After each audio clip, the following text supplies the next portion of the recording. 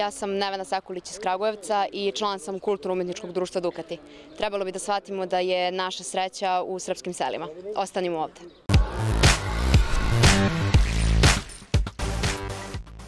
Ministar poljoprivrede, šumarstva i vodoprivrede Aleksandar Martinović izjavio je da je potrebno uspostaviti dijalog između ministarstava, malinara i otkupljivača, uključujući i Privrednu komoru Srbije, kako bi se našlo najbolje moguće rešenje za otkupnu cenu malina, tako da niko ne bude oštećen. Ono što je svake godine aktuelno kada je reč o malini, to je otkupna cena, odnosno poslovni odnos između proizvođača u primarnoj proizvodnji i otkupljivača, odnosno hladnjačara. Ministarstvo poljoprivrede, šumarstva i vodoprivrede će se zaista potruditi da uspostavi jednu liniju dijaloga između ministarstva, malinara i otkupljivača i potrudit ćemo se da u sve to uključimo i Privrednu komoru Srbije kako bismo pronašli najbolje moguće rešenje, tako da niko ne bude oštećen, poručuje Martinović na sastanku sa predstavnicima Udruženja malinara Vilamet i Zarilja o predstojećoj sezoni berbe, otkupnoj ceni i plasmanu na tržište, prenosi Tanjug.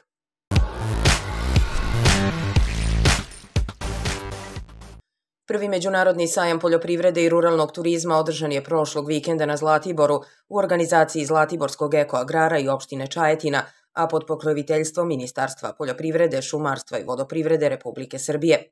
Predstavile su se poljoprivredno-savetodavne službe iz cele Srbije i 40 poljoprivrednih proizvođača, dok je u neposrednoj blizini turističko-rekreativnog kompleksa Zlatibor izložena poljoprivredna mehanizacija – Na štandovima u centru Zlatibora izloženi su raznovrsni poljoprivredni proizvodi odabranih proizvođača iz zapadne Srbije.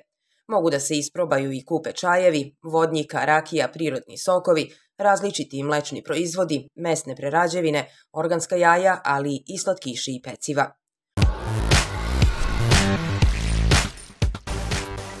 Komisija za ocenjivanje kvaliteta mesa i proizvoda od mesa vrednuje oko 200 pristiglih uzoraka od 40 proizvođača za ovogodišnji Međunarodni poljoprivredni sajam u Novom Sadu.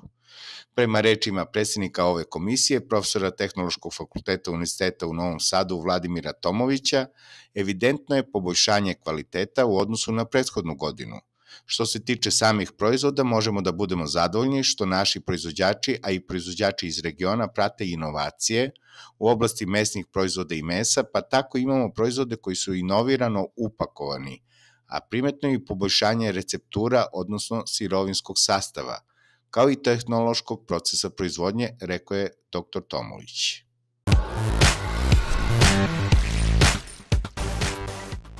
Od naredne godine traktori proizvedeni posle 1. januara 1983. godine neće smeti da budu na putevima ako nemaju zaštitni ram ili kabinu. Stručnjaci očekuju da će se na taj način povećati bezbednost traktora i smanjiti broj nezgoda. Trenutno je u toku treći javni poziv po kojem poljoprivrednici i zaštitni ram mogu da dobiju besplatno. Rok za podnošenje zahteva na javni poziv za subvencionisanu dodelu zaštitnog rama za upotrebljavani traktor ističe 15. maja, podsjeća Agencija za bezbednost saobraćaja. Ministarstvo građevinarstva, saobraćaja i infrastrukture opredelilo je ukupno 125 miliona dinara za subvencionisane ramove, a u prve dve faze ovog projekta dodeljeno je više od 7000 zaštitnih ramova.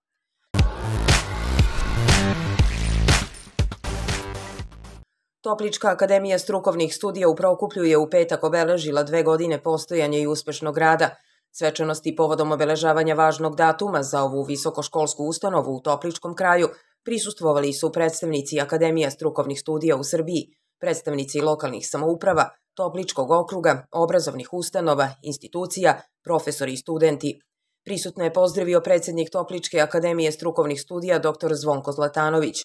On se zahvalio svima koji su doprineli uspešnom radu ove visoko obrazovne ustanove i pozvao svršene srednjoškolce da zakorače u učionice i amfiteatar akademije, gde mogu da izaberu jedan od 17 nastavnih programa koje nudi ova ustanova.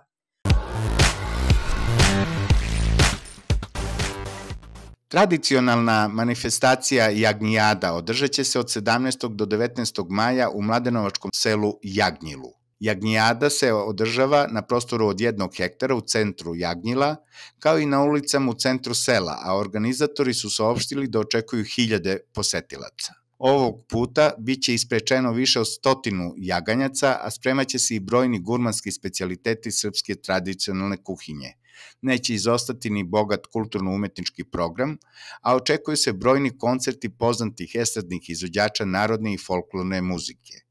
Uz to biće organizovana i brojna takmičenja, izložbe narodnog stvaralaštva, prodaja domaćih proizvoda hrane. Pokrovitelj je opština Mladenovac.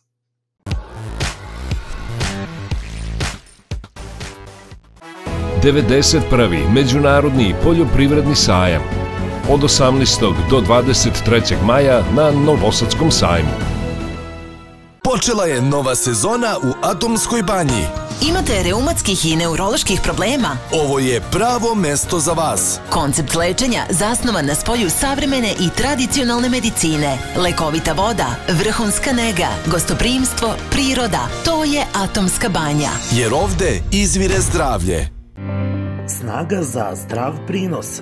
Bacilomix, mikrobiološki preparati nove generacije. Ekskluzivni distributer Sava Kop. Birajte pouzdano. Birajte najbolje. Birajte Agroplantu. Rasadnik Agroplanta Velika Drenova. Naše seme, vaš uspeh. Institut za povrtarstvo Smederevska palanka. Birajte pouzdano. Birajte najbolje. Birajte Agroplantu. Rasadnik Agroplanta Velika Drenova. Na net izađi, nas pronađi. Šopiko RS. Snaga za zdrav prinos. Bacilomix, mikrobiološki preparati nove generacije. Ekskluzivni distributer Sava Kop. Počela je nova sezona u Atomskoj banji. Imate reumatskih i neuroloških problema? Ovo je pravo mesto za vas. Koncept lečenja zasnovan na spoju savremene i tradicionalne medicine. Lekovita voda, vrhunska nega, gostoprimstvo, priroda. To je Atomska banja. Jer ovde izvire zdravlje. 91. Međunarodni poljoprivredni sajam od 18. do 23. maja na Novosadskom sajmu.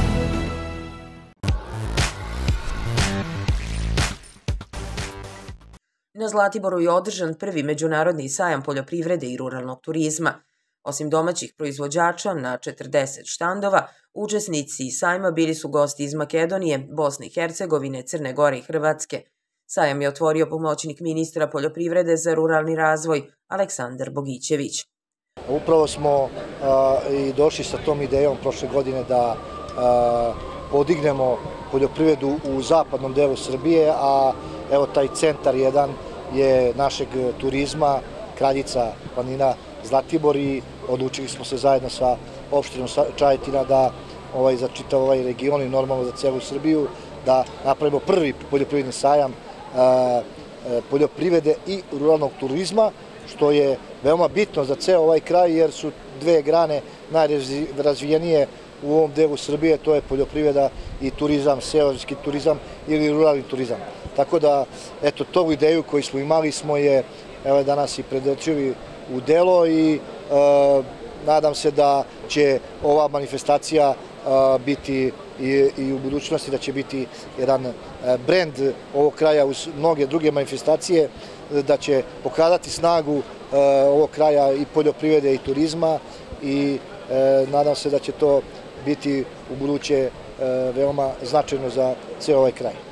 U zapadnoj Srbiji, tačnije u Zlatiborskom kraju, potrebno je više preradnih kapaciteta i više sirovina, što bi značilo poboljšanje poljoprivredne proizvodnje, izjavio je Bogićević i dodao da će na tome svi zajedno raditi. Normalno, e, uz turizam e, koji je ovde najrazvijeniji, e, dosta se razvija zadnjih godina, pogotovo od korone, taj seoski i ruralni turizam i tu kao ministarstvo i država dosta pomažemo, tako da se nadamo da će ove dve grane, da tako kažem, dosta, dosta u budućnosti biti i poboljšane i profitirati ljudi i što više turista doći ne samo na Zlatibor kao turističko mesto, nego i okolna sela, jer kao što reče predsednik opštine, nije Zlatibor samo centar, Zlatibor su i okolna sela i okolni krajevi koji su prelepi ovde i pružaju mogućnost mnogim turistima, kako domaćim, tako i stranim, da obiđu naša sela, da vide lepote Zlatibora i ja se nadam da će to u budućnosti biti. Sajam poljoprivrede i ruralnog turizma na Zlatiboru organizovali su opština Čajetina i Zlatiborski Eko Agrar pod pokroviteljstvom Ministarstva poljoprivrede, šumarstva i vodoprivrede.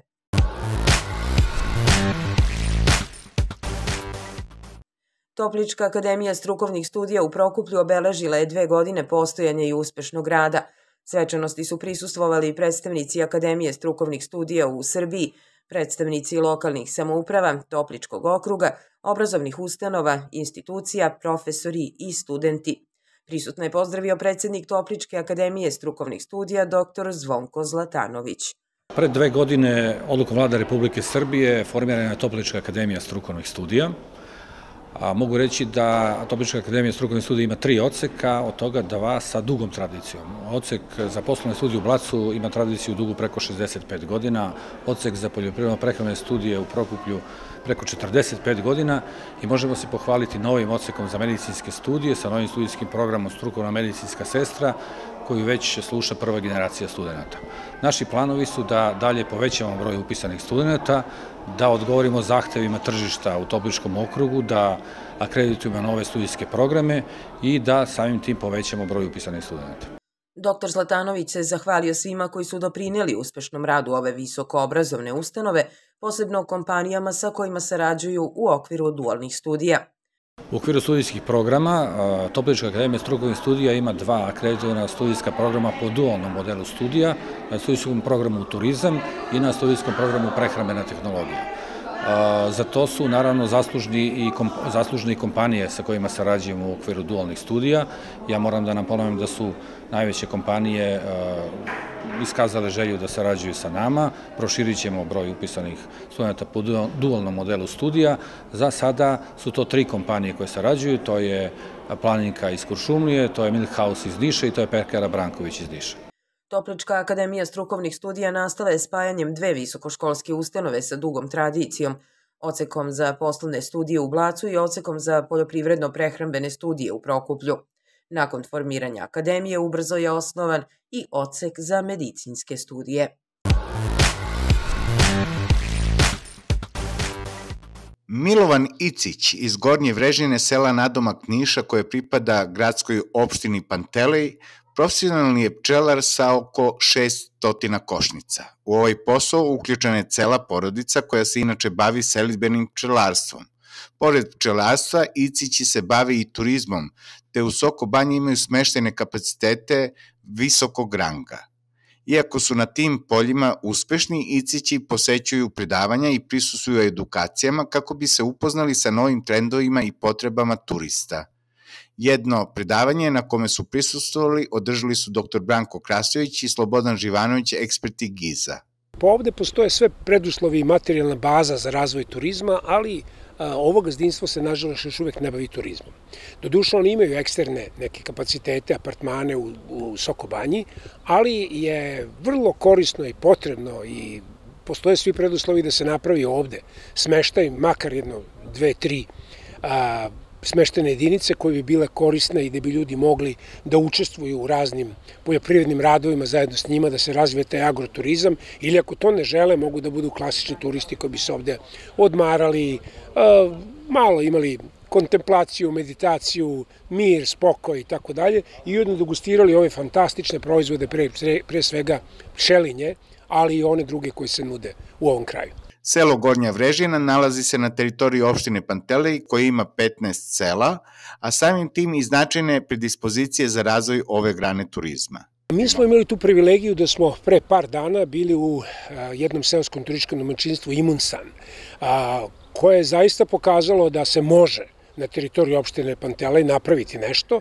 Jedino da i čak tako lepo razvijeni kompleksi koji lepo rade i tako dalje ne mogu da postignu jer nema radne snage zaista je njima potrebno da imaju mnogo više sadržaja, mnogo više aktivnosti i ono što je izgleda rak rana svih seoskih domaćina, kad god pitamo šta imaju da prodaju da ponesemo, gotovo nemaju ništa ili imaju vrlo malo.